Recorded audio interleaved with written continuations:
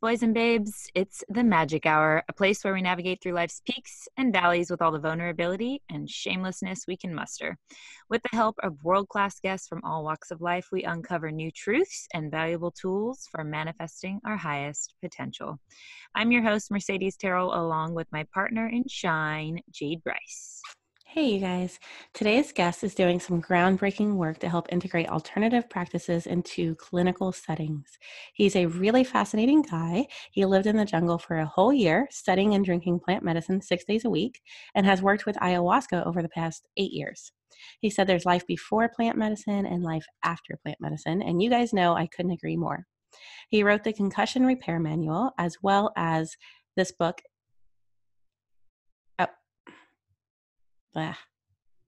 as well.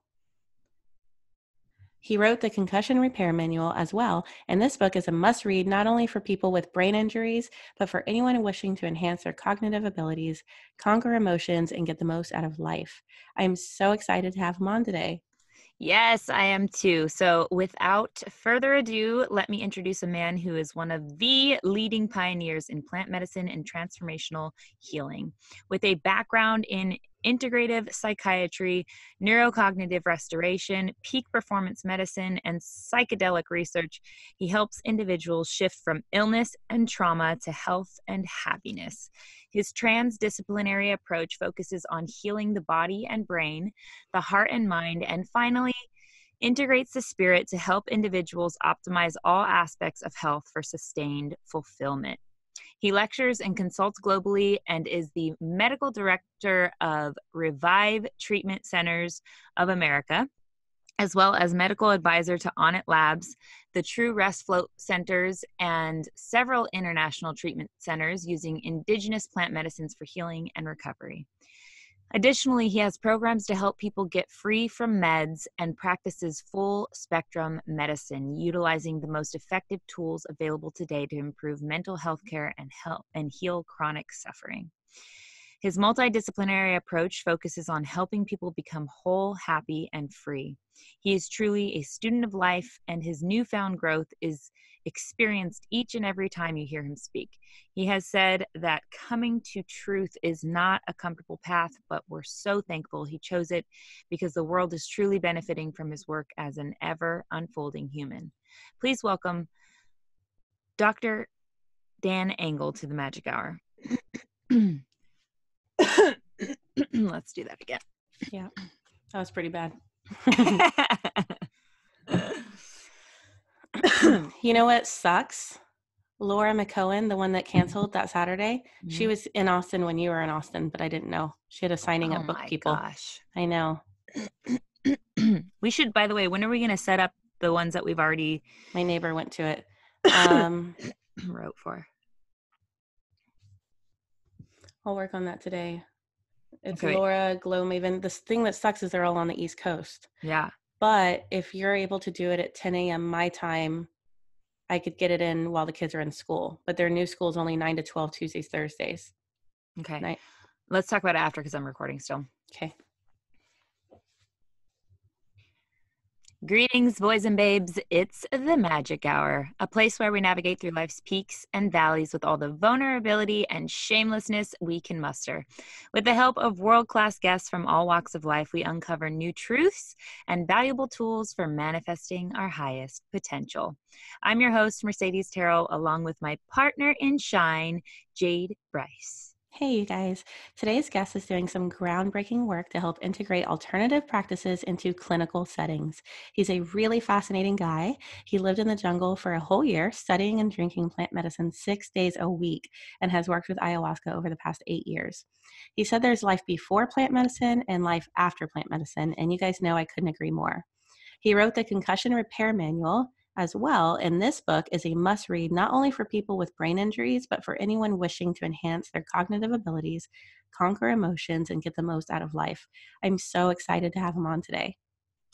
Yes, me too. So, without further ado, let me introduce a man who is one of the leading pioneers in plant medicine and transformational healing.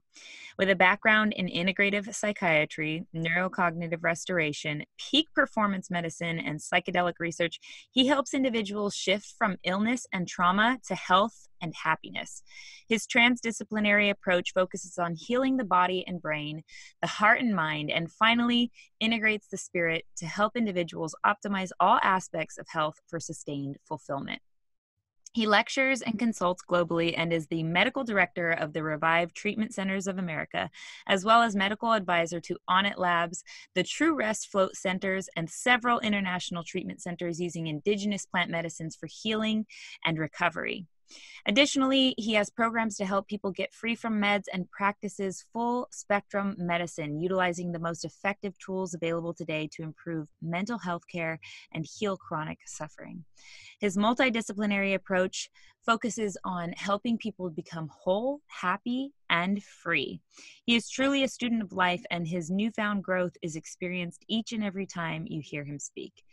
He has said that coming to truth is not a comfortable path but we're so thankful he chose it because the world is truly benefiting from his work as an ever unfolding human. Please help me welcome Dr. Dan Engle to the Magic Hour. Cool. Let me stop. Hi. Oh, let's see. Hello. Hi. Hi, guys. Hi, how are you? I'm great. Um, Are you so guys okay if this is not video? Yep, we're aware. yeah, if um, yeah, because it'll drop you off. You said right.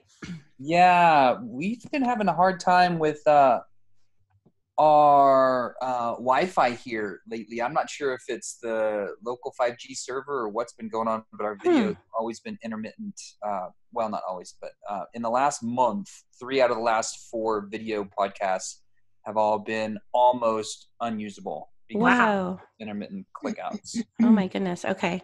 Um, yeah. Okay. So we'll just use um, like stock footage or an image of you when we make our little promos. Okay. Cool. Okay. Well, if that's good for you guys, that's great for me. Yeah. Yeah, and I don't- wait. Go ahead. Sorry. I was going to say, I don't know if you can see us on your side, but we like to record ours at least so that we have it for the promo as well. Yeah, you guys look awesome on my side. Oh, you see us. Okay. Okay. I reciprocate. um, we have uh, so much that we want to cover with you. So, um, so we'll just squeeze as much in as possible. And um, uh, yeah. I talk fast and I like this stuff. I so noticed, we usually yeah. Get through a, a, quite a bit of stuff. yeah, it's perfect. Okay. Um, do, do you want to read his bio or just start it with the questions? Um, I think we should let's. Well, you know so much. of- We we usually, Dr. Dan, we usually read like a very extensive bio for our uh, guests, and we put a lot of work into those. But because we want to get to so many questions with you, and you probably know all this about yourself already, I'm gonna skip that and let's just get into questioning so that we don't, so we have enough time to do that with you. Because I know we have a limited Yeah, and you to do it. guys uh, feel free to record the intro or anything you want. Yeah, yeah, we did. Yeah. sure, about yeah. yeah. Okay. Awesome. All right, Mercedes, you got first question. Alrighty. So, Dr. Dan, first of all, thank you so much for being here. We're so Yeah. excited to talk to you. Yeah, absolutely. It's great to be with you both. And um, we, like we mentioned, we have a ton to cover with you. But before we get into all that, you have a really fascinating story. So maybe you can just pull some of the highs and lows that brought you to who you are today and give that to us and our listeners. Hmm. Wow, that's a great question. Uh, so let me pick uh, three of the most uh, notable. I broke my neck two weeks before medical school, and that got me into psychiatry and neurology. Went down because I was going to do surgery or ER medicine. I was really um, just focused on those uh, more interventional therapeutic domains. And after I broke my neck, I realized, wow, I don't know anything about neurology. It's a it's the first time I've slowed down, and I realized I've just been standing on the gas pedal and really cruising through life and not really enjoying it very much. Hmm. So I slowed down, became much more humanistic, and just curious too about our minds and what make our minds so unique, and start to work as this navigation system for life. And that got me into both of those arenas. I did my full training in psychiatry uh, with residencies and fellowships, and then opened up an integrative psych clinic. We were doing pretty good work, um, getting kids and adults off medications, but it still wasn't the soul of it.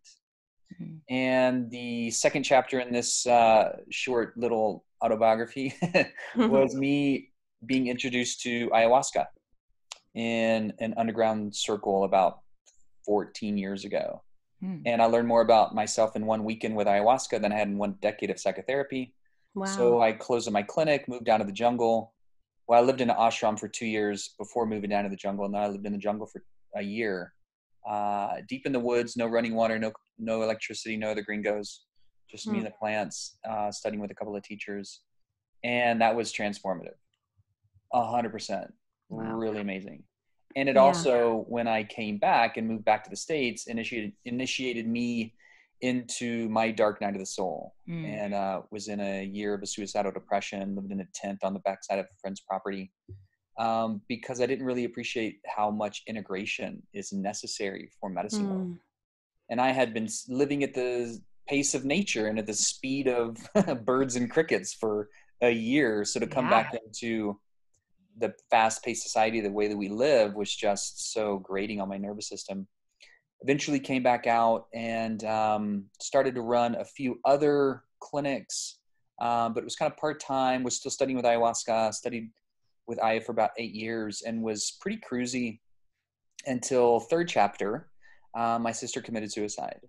Hmm. And that was a real powerful experience for me and my and, and our whole family and it brought me onto the stage so to speak i knew at that point i wasn't going to be um, doing my dharma if i was uh, not speaking on this work mm-hmm. and the mm-hmm. importance of the right use of these psychedelic medicine technologies in the contemporary and modern day medical landscape and what does it look like as a field of psychiatry starts to reclaim its essence as a soul-centered medicine and use these transformative tools for consciousness um, that are really powerful for a lot of the epidemics that we have right now. So that that's probably the the short and skinny auto bio uh, in three chapters right there.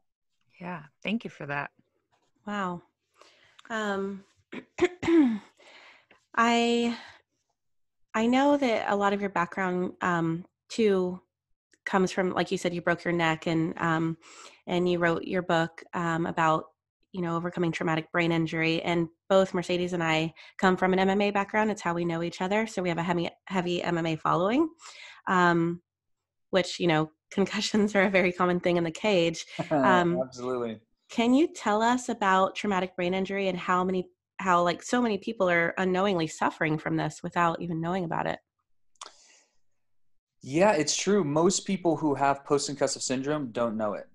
Mm-hmm. and most times people have concussions, they do spontaneously heal because our, mm-hmm. our brains and our bodies are built as surviving, adaptable, self healing machines. When it doesn't heal, there's usually some other confounding variable like gut inflammation, mm-hmm. hormonal dysregulation, uh, immune system dysfunction. If any one or all three of those are off, the nervous system is going to have a real hard time healing on its own. And with combat athletes, it's super helpful to have baseline diagnostics to just know how your brain is already functioning. Because mm-hmm. in combat sports, it's not a matter of if you're going to get hit, but when you're going to get hit, how hard you're going to get hit, maybe mm-hmm. even how many times you're going to get hit, and if you're going to recover fully. Mm. So if you have baseline diagnostics, and that could be doing a um, quantified EEG or QEEG brain map. Mm-hmm. Uh, you can get those through some neurofeedback uh, technicians and technologists. Um, you can do more sophisticated tests like balance and posturography, video nystagmography. These are just different ways to test the, the health of the nervous system mm-hmm. or even baseline cognitive function. How fast do you read? Do you recall? Do you shift sets from one task to another? How mm-hmm. quick can you um, uh, put short-term memory into long-term memory? How's your focus and concentration? If you know those baseline cognitive measures, and there are a variety of different practitioners local that can do these kind of tests, this would be kind of described as neuropsychiatric testing or neuropsychological testing. Mhm. um, as well as cognitive performance testing. If you have baseline, now we have data to compare it to. So when you get hit, if you don't heal, and I can look at your baseline diagnostics and I can look at your brain real time or your nervous system's function real time now, now I have a better idea where the primary deficit is. And if I know where the primary deficit is, now I have a better idea of how to treat it. Mhm. So that's just a general approach to doing this kind of work. Mhm. Now, as far as people with post concussive syndrome or after you get smashed, it's really important to take your own um, first person perspective responsibility choice to not get hit again too soon. Mhm. You can't you can't wait for your trainer to to tell you to stay out or your coach to tell you to stay out because they don't know what you're feeling Right. and it really Mhm. sucks when your brain's off and you can't Mhm. think straight and you wake up with chronic headaches and you you have because I've had six pretty bad concussions and that's why I wrote the book because there was no treatment manual out there Mhm. Mhm. and my post-concussive syndrome looked like mood dis- mood dysregulation hypersomnolence I actually developed narcolepsy uh, chronic migraine headaches um, had, I had worsening time this is my medical training too I had worsening time putting short-term memory into long-term memory so everything I was learning in didactics in the clinic I couldn't retain Mhm. And it was just super frustrating. And so it's important to give yourself the time and space to heal. Mhm. Um, be out of combat for another four to six weeks minimum while you're healing. Mhm. And what things help healing? Well, first of all, do the obvious. Don't get another head injury Right. while you're healing from the first one. Um, start taking CBD and fish oil. Start a low sugar diet. Stop alcohol. Uh, start cleaning up anything that would be causing inflammation. Um, be mindful of how you share your energy. And if you have light noise sensitivity, which I had, uh, you may not want to be on screens for longer than 30 to 45 minutes at a time, or Mhm. definitely not after the sun goes down. Yeah. So all of these things help to ensure that sleep regulation is going to be ideal, that you are decreasing the, the, the brain's inflammatory load, and that you're not stressing your system too much, like retraining. Even if you're retraining hard and you're not getting hit, but if your brain hasn't healed, then you're essentially taking energy away from the healing mechanisms and you're diverting that energy for healing into further training Mhm. and that's when people can push themselves over what's called their metabolic threshold and have a re-experiencing of their symptoms even if they didn't get hit Mm. What about um, like the dangers of micro concussions on roller coasters and things like that? Do those are those cause for concern? those those have a stackable effect for sure uh, they're really small and typically spontaneously heal and it's it's if you have an occupational hazard because not not many people are going to be riding roller coasters Mhm. repeatedly like you know for days at a time or months at a time um, but occupational injuries are repeated exposures Mm. to micro traumas and that could be somebody who's firing uh,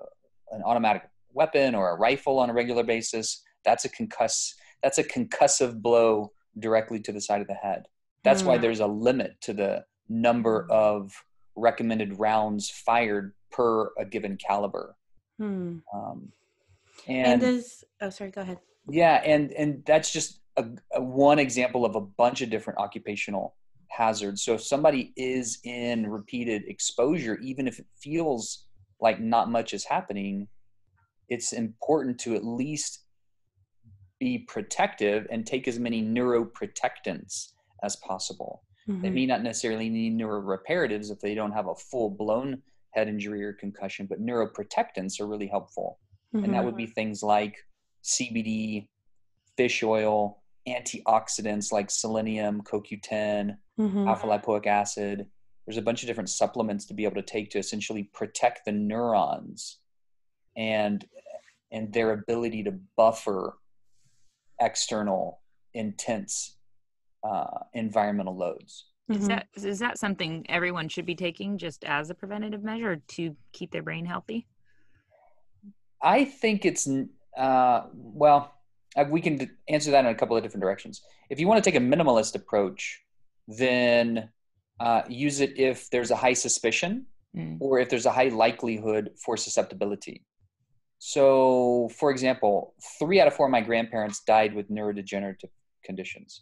Mm-hmm. Both my mom's parents died with Alzheimer's. My dad's dad died with Parkinson's. Mm-hmm. And those are just horrific ways to exit yeah. this mm-hmm. one monkey suit. And after seeing them go through neurodegenerative conditions and stacking my head injuries on top, which mm-hmm. predispose you for neurodegeneration, I hedged all my bets and and I take pretty consistently both neuro neuroprotectants and neuroreparatives because I'm still snowboarding, I'm still doing stuff that you yeah. know my partner or my mom or people that are close to me would say maybe you shouldn't be doing that there's a mm-hmm. lot on the line and yeah well we're still um, I, am not gonna uh, not live your life exactly i'm not gonna prevent mm-hmm. myself from doing the things i really love and enjoy yeah. Mm-hmm. so if there's a high likelihood if there's a past experience of trauma and a high likelihood for more trauma or potential for neurodegeneration then i mm-hmm. say for sure because mm-hmm. everybody does pretty well with fish oil Mm-hmm. And there's a yeah. good there's a good case to be made that uh, eating um, seafood is what helped us develop into the magnificent brains that we have today. That mm. and maybe microdosing psilocybin. Yeah. Mm, yeah. And you also talk a lot about stress and how that affects the brain. Is this um is that as awful on the brain as concussions? Uh yes, but in a different way. Mm-hmm. Uh, stress is one of those ubiquitous experiences in our current human condition. Yeah. Everybody lives to a degree of stress in our given society. Whether it's external stress because we're trying to keep up with the pace of our technology, mm-hmm. mm-hmm. while our nervous systems have really evolved at the pace of nature, it's only in the last hundred years that we've tried to keep up with the speed of our technology. Mm-hmm. That's a stress for yeah. sure. Externally, internally, there's the constant stress that tells that the, our mother culture tells us that we're not good enough mm-hmm. that we need to buy the next widget, fancy this, fancy that to be cool, to be successful. Um, our whole capitalistic orientation is built on find people's primary pain point, push it, and then sell them the remedy. Mm-hmm. Mm. And and it starts early. You know, when when we were oftentimes raised by parents who were only just trying to do the best that they know how to do mm-hmm. and oftentimes got um, satisfaction or value of their own parenthood at the success of their children. So mm-hmm. kids are start kids early on are rewarded for how well they do, not just for who they are. Yeah. So that's already an externally based level of self validation. So there's mm-hmm. all these stressors, and stress is the number one cause of chronic disease. We know that. And the number one cause of stress is time urgency, and that's yeah. only worse.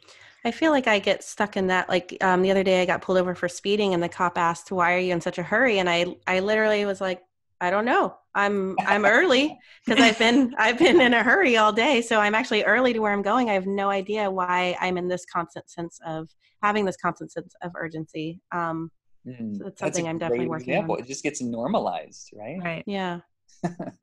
and if you see the rest of the lemmings running off the cliff and you stop then they're going to be like what are you doing what are you stopping for let's go it's you know the the the goal's this way right. stopping mm-hmm. against the herd is an active process and mm. it can feel strange because you're not doing what everybody else is doing yeah but the definition of normal and the definition of health today are not the same what's mm. normalized now is not healthy absolutely of the way yeah. people but because of the way we all live and yeah. so it's really helpful. That's why meditation is an active process. It takes a lot of discipline to just sit down and slow things down.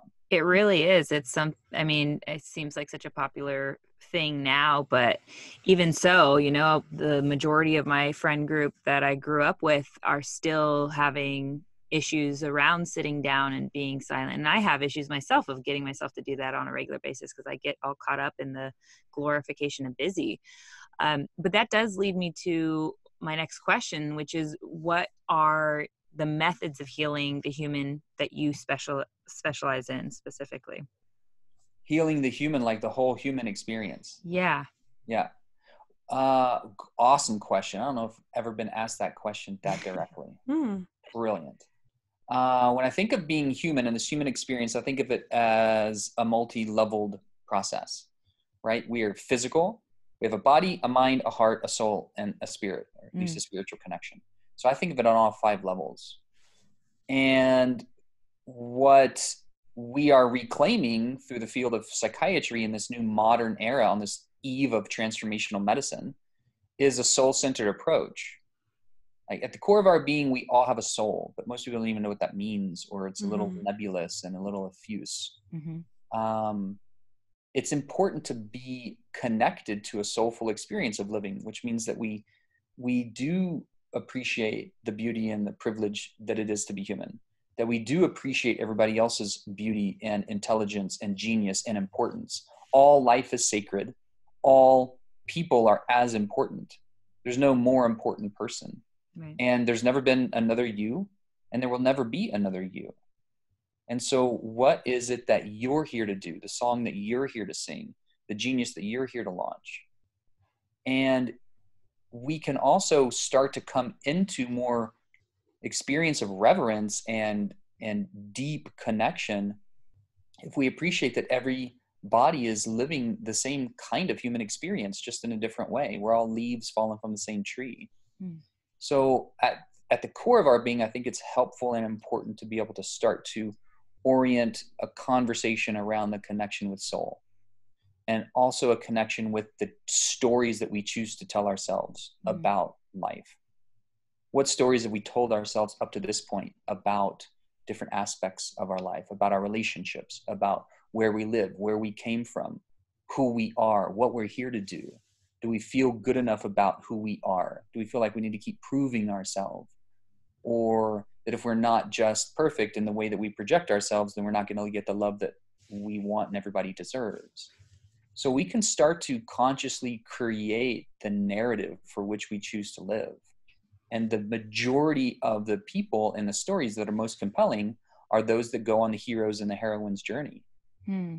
and they get called to action and they go through a trial of challenges and into the dark night and they pop out the other side oftentimes scuffed up and bruised up but but wiser for it stronger for it more resilient for it and here to give their service back to the collective so as we start to bring in these core components of what it is to be human then we notice too that the other things in our lives start to fall into place. Our body starts to spontaneously heal from chronic disease once we find meaning, purpose, and value in our lives and in our expression, hmm and to come back to a heart centered experience of community and our relationships, and knowing that we're born to bond. And that's one of our primary drives.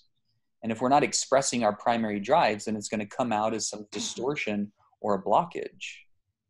And so when we know that these drives include freedom of expression, freedom of love, being able to serve, feeling safe and secure in our relationships, and the drive to transcend and have transcendent experiences, ecstatic states. hmm All of these include the the the different facets of what it is to be in this tapestry of a human experience. And Mm. all of them are important and sometimes we express some of them but most of us don't express most of them. And when we do that more effectively i've seen consistently that all of the things that we want to track in the biohacking arena start to get better. Hormones start to improve. This is, some of this is like flow data and flow states and kotler and Wheal's um, conversation in um, the rise of superman and um, stealing fire. And that and flow states is just one perspective of that. Mhm. it's also about how we serve community how we find meaning and value in our contribution and the, and and giving back in a way that leaves the world better than when we found it Yes. Absolutely. Uh, that y- y- you know to me is just speaks to the same recycled um, ideas that each religion even seems to have used and it's and i don't know if this is gonna well you're so articulate dr dan it's hard to even add anything to what you have to say here and i'm not really trying to add but i'm just trying to note i guess that we as a species and a culture especially seem to be um, having an issue with getting in touch with our soul. And Mhm. we have a lot of pushback you know and i have experienced that in my own life i have done that in my own life um, i still find myself doing that and so when i get to hear someone like you speak on that so articulately that cuts Mhm. straight to my core it's kind of hard to uh, ha- it's kind of hard to continue to live in that lie you know Yeah, and it sounds so simple when you say it too. yeah. So thank you for doing the work that it took to get you to the place you are now Yeah. and, and able to speak on it the way you do. Um, so for you, is there spe- specific uh, maybe uh, modalities that you could offer to us and our listeners that would be great ways? Um, we'll get into plant medicine, of course, during this talk, but maybe things that are not using psychedelics um, that people could use to get there to access, you know, their soul and their truth. like Mhm. float tanks, I know you speak a lot about. hmm Yeah, um, happy to get into that. Maybe we can describe those as technologies and experiences, because kind of like Stan Grof said once a while back, who's like the a heavy in the whole field of plant medicine research and psychedelic therapy. Um, what we're lacking in our uh, current cultural landscape is an experiential spirituality Mm. an experience of spirit. And Mercedes, you were describing this um, like recycled, um, more modern language around similar themes that most Mhm. spiritual traditions speak about. And you're right. hmm There's a really good book called Oneness by, uh, funny enough, a guy by the last name of Moses. and uh, he just did a discourse in looking at the world's primary spiritual traditions and quote unquote religions and how all of them speak about pretty much the same things and so this is what it is to be human. This is at the core of our being. And it is fairly simple. It's not easy eh, because in our culture we just live such fast-paced lives and so externally oriented. And we're not taught these kind of things as children frequently. Mhm. um, you know our parents were um, doing the best they knew how to do. Our grandparents came out of the second world war. Uh, you know it's only pretty recent that we've had so much modern luxury on a global scale. Mm. And the shadow side of that is now we have these diseases of affluence where it's easy to just sit around being a couch potato all day and hmm hit one button purchases on amazon and numb out to the fear-based media hmm so there is an active process of deprogramming Mhm. and recentering that's necessary. And Jade, you mentioned flotation tanks, and I, Mm. probably that's that's probably my most favorite current technology Yeah. outside of plant medicines because everybody can float. Doesn't Yeah. matter how old you are, young you are, on medications, not on medications, healthy, not healthy. Everybody can float. The only time people have said I can't float is when they have claustrophobia and don't like being in closed spaces. And I said that's an even better time to Yeah. Yeah. I know some people don't like it because when they get in there, they feel like they see a bunch of dark images um, Mm. coming Uh-huh. at them. So it's Yeah, that can be- another reason to really want to need to do it. yeah uh, that can be another fear-based experience um, that's really a doorway into self-discovery Right. hmm like what are all of those images that are just percolating in the background that Mhm. are only now on the screen of my awareness because i've slowed down and i've disconnected from the environment enough to allow that hmm to come forth Right. Well, let me allow that to come forth because I don't want to just walk around numb to that or act like Right. not there because it's going to shape Yeah. how I experience life. And I Mhm. wonder if sometimes because it's it's the closest it can be to being in our mother's womb, if um you know, I know we feel emotions in our mother's womb like maybe it somehow takes us back there if we didn't have a positive experience. Hmm. I'm I think you're right on. I think you're right on with that, and a lot of uh, float researchers would even say the same thing. Mm, It is the first time since we were born that we're without sensory experience. Mhm. We we had even more sensory experience when we were in the womb Mm. because in the womb we could feel proprioception and mom moving around. Hear noises. Mhm. Yeah, we had auditory input, and so, but it's the same kind of experience. We're in a dark, Mhm. held, protected womb Mhm. space that we're buoyant in. And we start to, because the water temperature is the same temperature as your skin, we start to lose even the familiarity with where we Mm. stop and the rest of the world begins. Mhm. And and it's easy to now have a greater connection to perhaps this place that we all come from before we're in a body Mm. and where we're going to go to once we exit a body. Yeah, I think that the fear Oh. though too comes from that same idea of Yeah. not knowing where you end Not having. and yeah, no boundaries of um, where you end and the rest of the world begins. In a sense, Right. it's almost triggers you to feel like that that ego story of do I Mhm. exist? Do I exist? You know, always needing to be validated and reaffirmed in that knowing. Mhm. Mhm. Um, and then for me, when uh, my very first float tank, the most frightening thing for me was being in such darkness um, and stillness. Mhm. And I, I've had this reoccurring dream I've talked about on the show before, but uh, where I'm standing there and you know, like on, on an old uh, property I used to live in uh, with my grandparents. It was a farm, so it was very dark at night. Didn't have any other external lights really going on, but there was this one bug zapper light that shone on the group of our family, um, me and some you know people that were really close to me, and every time I would blink, one would disappear into the darkness, and each so obviously I was there eventually left alone, and I had to choose to to walk into the darkness or not, and I I chose to, but um, that for me the float tank was very triggering in that same sense of that Mhm. fear that comes with the darkness because that's the chaos that we haven't confronted yet in ourselves I, for some reason, thought I was going to die the first time I did it. Mm. Like when I was in there, I thought I could possibly die in here. Like I don't know why I, this fear of death came over me. Mhm. Um, Yeah, but what they're has been your number one benefit in the? they're float both really powerful each of those experiences is about being okay in the Mhm. unknown. Mhm. Mm, okay with the the experience of disconnection and darkness mm, and then to find our ability to self-regulate in that. Yeah. To come back to our breath to slow things down to find an experience of connection that we hold in our own mind's eye that that is the thread of our own hum, human experience. Hmm mhm, it's it's this sleeping dream time that you're that that's easy to morph in and out of.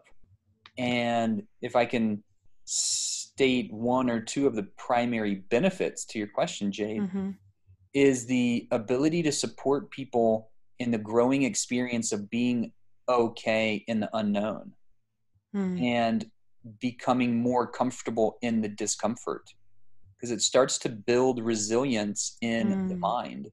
Mm-hmm. and then we start to look less outward for our own ability to resource. Mhm, resource our worth resource our love resource our own personal meaning. And and it grows this ability to connect within. And and to be honest with you too these are a lot of you know fancy words that i've noodled on this for a long time. So I, I, that's why i Mhm. can speak on it you know fairly off the cuff. Um, but that's also to say a lot happens in the tank that we don't even know what's happening. Mm. just like in the medicine experience there's a reason that medicine experiences are called ineffable which means they're hard to put into words. And what we do know is that the more people float it tends to create greater and greater relaxation now that that's physical physiologically because we can see yes stress hormones get mhm. normalized blood pressure normalizes Forces you to unplug. forces you to unplug for sure which is like meditation on steroids Yeah. and so it has this stacking benefit and what's happening psychologically and and soulfully i think we're we're still starting to uncover and, and put understanding towards Yeah. Yeah there's a i love that that's uh you know the magic trick you're leaving with our listeners Yeah. maybe too because it's such a simple thing to just walk into a float um, tank facility and and spend 90 minutes doing that and see how how it goes for you your first Yeah. time if you haven't already Yeah, Mercedes, I love your backdrop too. By the way, a Think of Ah, floating thank you. the cosmos. lot of people say that.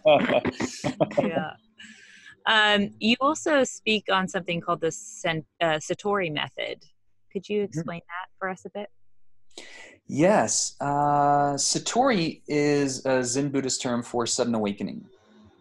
And there are practices that we can engage that will give us a sudden awakening experience. And sometimes that happens spontaneously. And, and if it does happen spontaneously and there's no reference for it, it can feel really de- destabilizing. hmm sounds Like like, a funny- kundalini awakening same idea. Exactly. Another great example. hmm and uh, one of my primary teachers ran something called the kundalini crisis clinic Hmm. Mm. which was a Wow. clinic for people going through spontaneously kundalini uh, opening experiences they, they, they couldn't manage and they thought they were Mhm. going crazy yeah i get it Wow. And and it's unfortunate that we don't have a better understanding for that because i've had many clients that were um, unfortunately stuck in psychiatric institutions and put on medications because they had an expression of a kundalini opening and Mhm. awakening that they didn't know what it was sometimes their body moves in certain positions we would call those mudras or they may hear something that other people don't hear or have visual experiences that other people don't and and those are by the way all the classic symptoms of schizophrenia Mhm. Sure. according to modern psychiatry. Um, so it, it's helpful to have a framework to engage people in the preparation process. So if we're going to engage Satori methods, Mhm. it's really important to be able to onboard people with the understanding of what could happen and then to help them integrate it on the other side.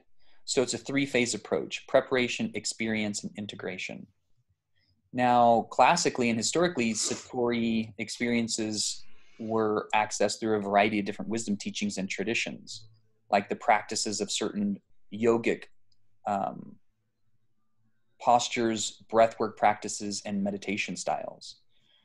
That's one lineage and one particular orientation. Other experiences of awakening could be in isolation in nature, and that would be described by certain traditions as a vision quest, or in the Lakota language, a hambleche.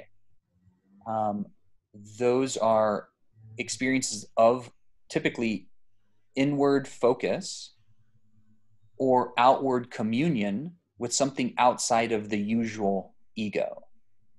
Right? So I'm either going deep into myself, Mhm. below the ego, subconscious, or I'm going outward and to commune with something outside of my little me, mine, and I, and to remember where I come from and to commune with the divine, outward, superconscious.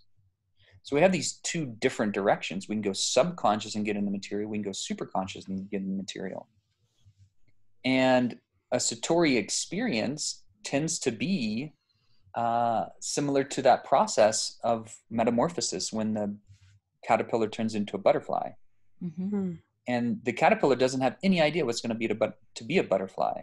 so if it spontaneously happens, it might freak out like, whoa, where'd the wings come from? Who am I? And all my caterpillar friends now are going to look at me like, what just happened to you? right And so we have this tendency to project our experience onto others and make them right or wrong based in our own idea of what's normal. And if we can introduce these kinds of practices, and we just mentioned a couple, Mhm. there's also holotropic breath work or a style of pranayama where you can get in elevated states just through breath. There's also fasting and going without food, particularly toxic food, in order to clean up the internal system and draw energy up through the crown to open into the mind. Mm.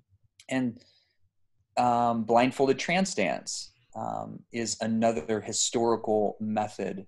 Doesn't have to be blindfolded, but when you do blindfold, then you go even deeper in. And when you start to dance or move at, at a high BPM or beats per minute above 140 or 160, you start to get into elevated states. So Mhm. these are just a few practices of what can stimulate something called a satori experience Mm-hmm. and then the the magic happens really on the other side of that which is how do we integrate that peak experience and make that usable for our daily walk Mm-hmm. and bring that treasure so to speak back to the collective like the hero and the heroine do on the other side of their journey Right. Mm-hmm. Where's a good place to find out more about that method? Um, I've given a bit of its description and some of the preliminary um, nomen like the nomenclature or the language around it, as well as a schematic for it on Full Spectrum Medicine. Okay. Uh, that's our education advocacy platform for these kinds of awakening experiences, Mm-hmm. and it's also part of the curriculum that we're designing for the center that we're opening in Austin this summer called Kuya. oh wow, that's where I live, so that's exciting. Excellent. Yeah. Good. So Um, you're uh, you're an Austin local. Yeah, I actually almost ate Thanksgiving dinner with you at the Kingsbury's, but I ended up leaving town. that would have been fun. That would have Yeah. been awesome way to meet. yeah. oh, great. Well, then you're going to firsthand what we're up to. Yeah, I can't wait. Um, I'd like to also discuss the loneliness epidemic with you that the majority of people are experiencing. Mhm. Well, I love how informed y'all's questions are. Good, good job on the homework. Um, yeah, it's phenomenal when we look at the five primary, and this is not an exhaustive list, by the way, but the Hmm. five primary obvious psychiatric epidemics of our time right now hmm depression, anxiety, PTSD, addiction, and pain. hmm and both chronic physical pain and emotional, psychic, soul level pain. All of these, particularly the obvious PTSD, depression, anxiety, addiction, all of those are going through epidemic proportions, even with the fancy advent of all of our psychopharmacology, all of our pharmaceuticals. And it may very well be that at the core, or at least a common thread between all of those, is loneliness hmm and an experience of disconnection. Because we know that we're born to bond. That's a part of being human. We are social creatures. We do better in secure, safe, expressed, joyful relationships than in isolation. As a whole, yes, there are some rish- rishis and sages and um, and and enlightened beings, so to speak, that do their work in isolation, meditating on peace, on welfare, on love, and essentially anchor a pillar for that frequency into the collective consciousness so that there's somebody in isolation doing that. Because it the hardest work is to do like your enlightening work in the day to day like in in downtown urban jungles it's a bit easier to stay in the zone so to speak tucked away in a cave kind of like it was for me tucked away in a hut when i was living in the Mhm. jungle. The work is really to do it Yeah. in the day to day and so when we do connect with one another and we lift each other up in conscious community and we share the experiences of being human and we start to re-inhabit the village so to speak which is a term that i enjoy.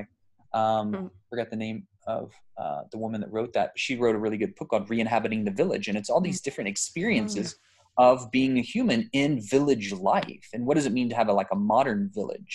It means that you're around people that you can count on.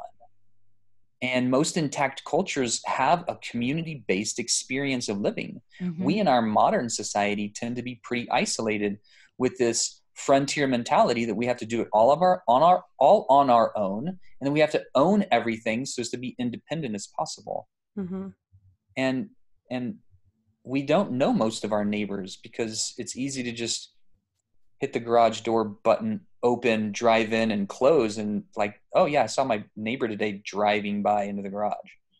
Um, we just don't tend to have as much social connection and communion as our ancestors where we come from and as a part of our like human blueprint had and expressed. Hmm so Yeah. all of that is just to say that when when we get connected to people that we have like-minded, like-hearted, like-spirited experiences of living with, we tend to live more joyful, better Yeah. lives.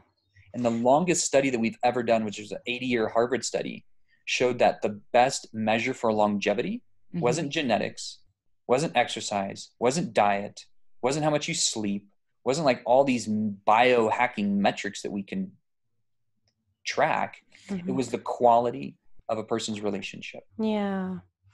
Do you think that um the amount of screen time that kids are now having that that's just kind of making this even a more downward spiral in our future of of those five conditions that you spoke on? 100%. Yeah. And it is true that we can connect more virtually than we've ever been to, able to do. Mhm. Um, but I think that's been at the detriment of our physical connection and our soulful connection. Mhm. You know, if I have 5,000 superficial friends on Facebook, Instagram, and Twitter, but I don't really have, you know, half a dozen really good friends, that's the opposite of the way it used to be. The way it used to be is like, oh yeah, there were five, six, so like really tight people. Those are my homies. Those are people I could count on. And maybe I had a whole bunch of other uh, acquaintances. Mhm. So we've kind of flipped the number, and Mhm. and and there virtual touch will never substitute human touch and physical touch. Yeah. It just can't. I, I notice too in my own life, it's a matter of, or the way I would describe it is I am s- seeking sometimes validation over connection. So you Mm. can get validation from, you know, the screen time. Um, you can get validation from, you know, your gaming buddies on your headset or through social media, um, likes and such, but it's not true connection. It's mm-hmm. at the back of our mind. We know that that little endorphin hit we're getting isn't sustainable it isn't real and it isn't the thing that we want most which is you know that real person to person connection soul connection Yeah. Yeah, I, I haven't ever heard anybody describe it that way, but I really like that summary statement. Yeah, I do Yeah. believe most of us are using our electronic, technological, social media based platforms as a means of validation and not. Well, it is a style of connection, but the endpoint is validation.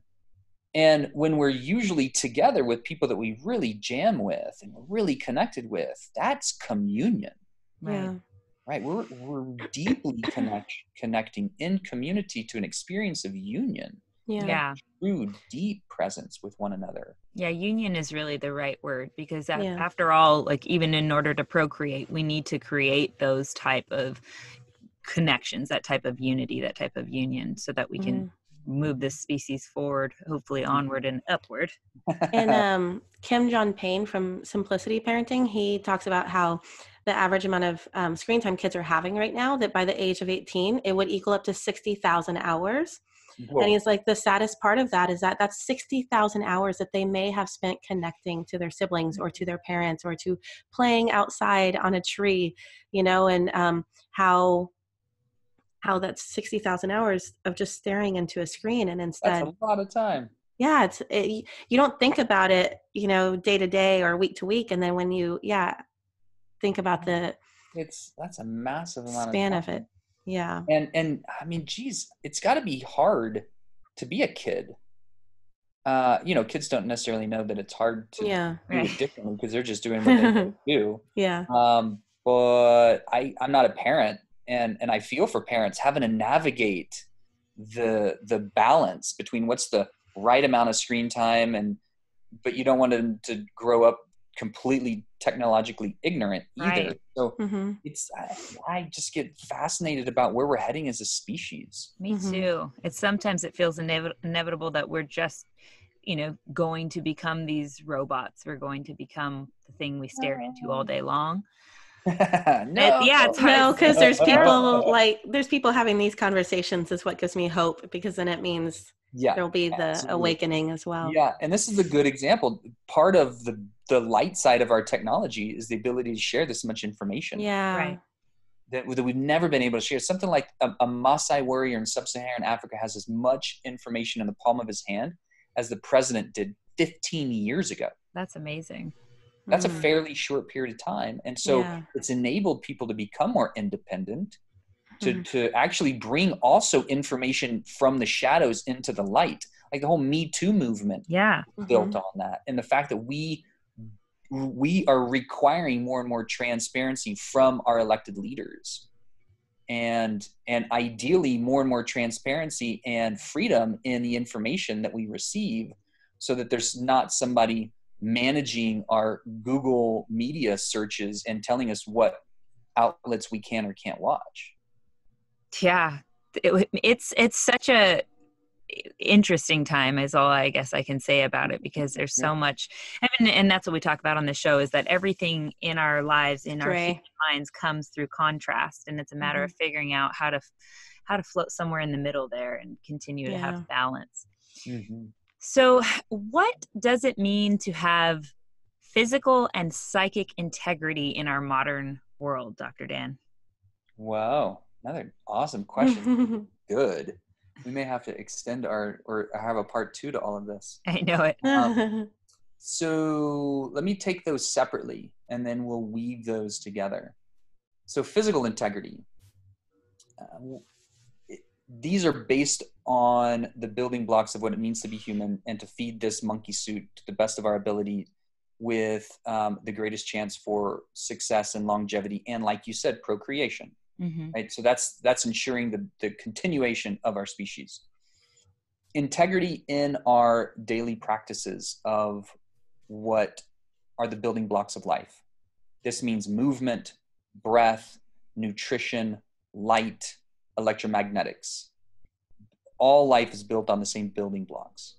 When we know how to access those fundamentals and we do that on a regular basis into the sweet spot then we start to up level our physiology. And what I mean by a sweet spot is everything has, all medicine has its sweet spot.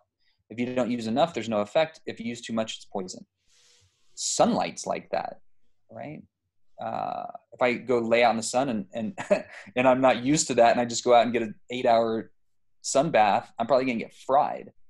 Or water's like that. If I drink a gallon of water at one sitting, in like five to 10 minutes, I'm going to get hyponatremic. I can have a seizure and die. It's actually one of the quickest ways um, that you could just do something natural that would be toxic. And wow. Um, same thing with food. If we eat too much, which many people in our culture do, it's detrimental. Same in the opposite direction. So all of these basic fundamentals build the integrity structure. And movement breaks down into a variety of different things too coordination, balance, speed, flexibility, strength, i.e., power they're not totally synonymous, but for, for our purposes, we use those. Um, and breath work is the same. We talked about that in relationship to meditation. It can go in either direction. Breath is the cons. Breath is the only conscious um, physiologic practice that we have that that thankfully is also subconscious. Like we don't have to think to breathe. Otherwise, we'd have to think about all of our inhales and exhales, and that yeah. wouldn't last very long and we can toggle our nervous system into either direction. Sympathetic awake ready ready for action so to speak or parasympathetic rest digest assimilate.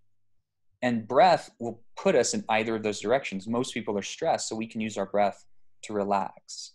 And that's one of the best easiest quickest practices. There's, there's a practice i call four minutes to freedom where mm. if you do an inhale to four count and an exhale to eight count, exhale while you're humming, then it's about a six or a so breath cadence per minute. Mm. And if you do that over four minutes, that's 24 slow breaths. So it's inhale and then exhale with a hum to eight count. Mm.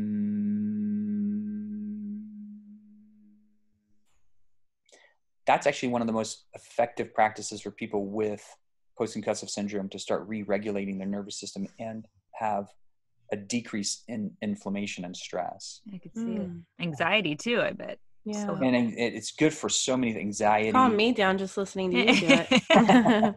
try, try, it. Just give yourself a week. Do it for mm-hmm. four minutes a day.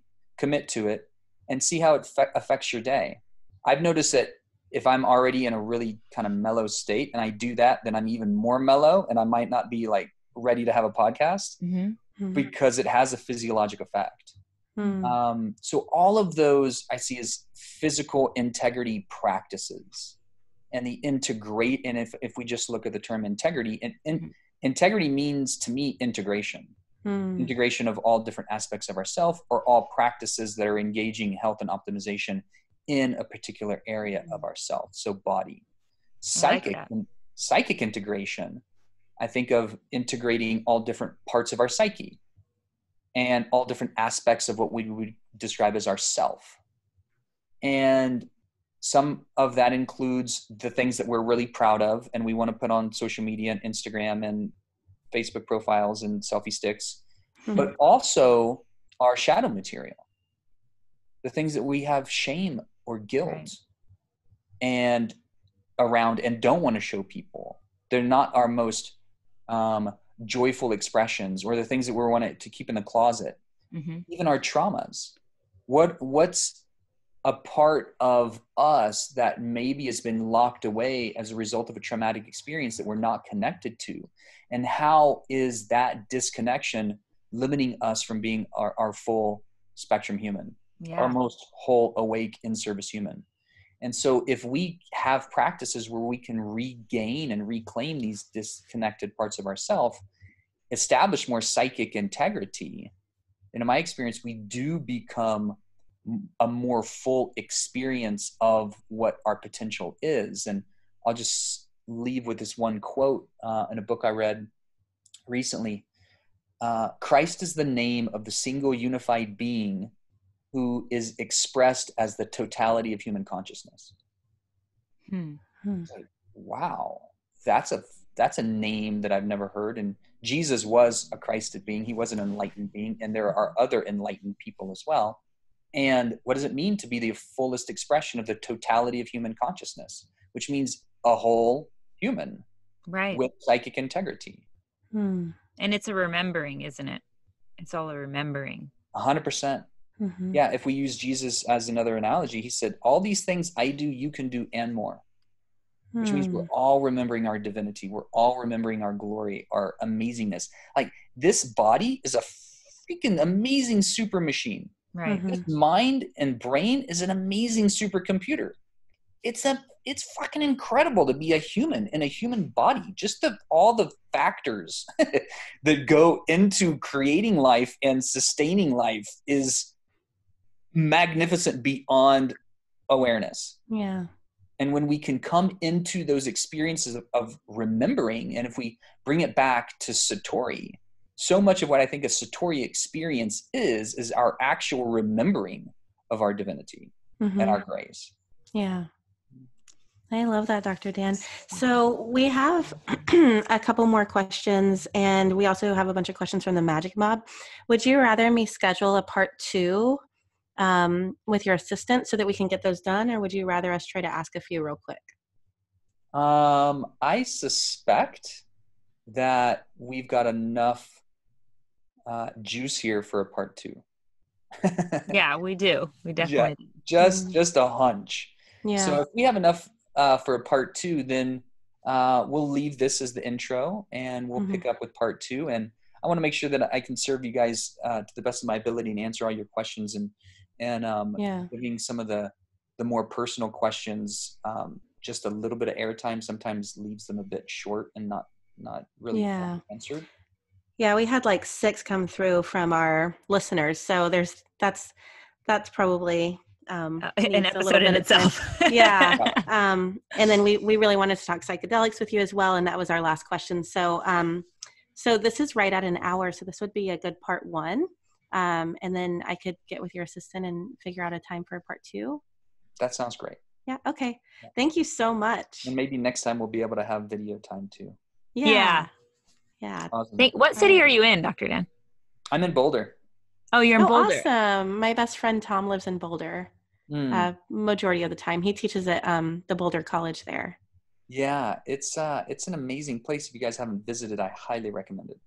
Yeah, Yeah. I well, we'll be in Telluride for Mountain Film Festival um, Oh, in May. wow. Telluride's an amazing place. Yeah, we I try to go every year. It's um, a film festival of just documentaries, and this year it's um, the topic is young visionaries. Last year was equity. Oh, wow. Young Yeah. Visionaries. That sounds When is that? Uh, it's Memorial Day weekend. Um, if you'd like to go, um, let me know, and um, we can most likely get you a pass. Cool. Yeah, send me a link. Send send a link and the information to Marla, Okay. and then uh, schedule part two. Yeah. And uh, I'll check it out and see if it works for our calendar. I love Telluride, that area. Yeah. My dad lives in Durango, so I got. Oh, yeah. Oh, that's that's where we fly into. Yeah. It's just both of those are really cool areas. Yeah. So cool. And, the film uh, festival itself is is pretty incredible. Yeah, you're in the middle of a postcard with people who care about issues like right. equity, and so yeah. it's Speaking about young visionaries, Right. amazing. yeah, I'm a yes, totally. yeah, Cool. awesome. Okay, I'll send all that to Marla. Thank you so much for your time. Yeah, thank you, Dr. Dan. And like I said, you are your work is so well thought out. And I don't know, you know, if it's the plant medicine or the studying you've done or all the things combined, but you are being such a light to our lives and our listeners' lives. So thank you for taking the time with us. Mm, Yeah. yeah. Thank you both for the invitation. It's been a pleasure to be with you guys. Thank you. I look Talk forward to to, our you next again. Yeah. Bye. Awesome. Bye. Take care. Bye bye.